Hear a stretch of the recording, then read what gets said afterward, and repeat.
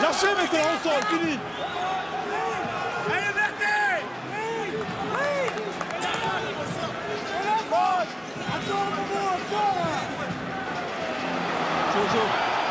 une touche.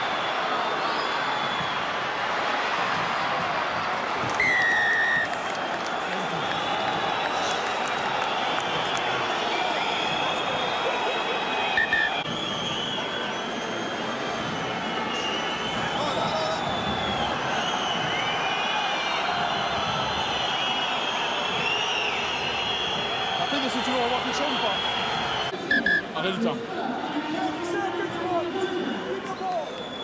Arrête du temps.